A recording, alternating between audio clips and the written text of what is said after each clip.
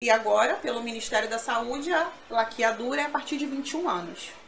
E aí sim, essa paciente vai ter aquela cesárea para fazer a laqueadura. É para ela não Ah, ter a mais laqueadura filho. só pode ser pela cesárea? Pela cesárea ou na situação, às vezes, da cesárea marcada e essa paciente entra em trabalho de parto antes. Entendi. E aí, ela perde a laqueadura? Não. Hoje em dia, o programa é, do Ministério da Saúde, ele tem várias alternativas. Essa paciente, ela, se ela tiver o documento de manifestação de desejo de planejamento familiar, ela vai ter o parto normal comigo.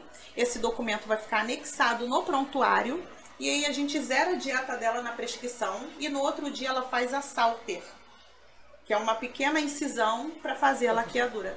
Ah, então ela faz, é, bem dizer, um dia depois, Um tá? dia depois. Ah, pra não ter que esperar, porque acabou de ter Não. um, pô, acabou de ter uma criança, vai de novo pra sala. Isso, mas é um pequeno procedimento, não é mais Ah, aquela não coisa, é mais aquela abertura, aquela incisão.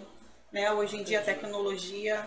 E tá ainda tem esse negócio de ter uma quantidade de filhos pra fazer.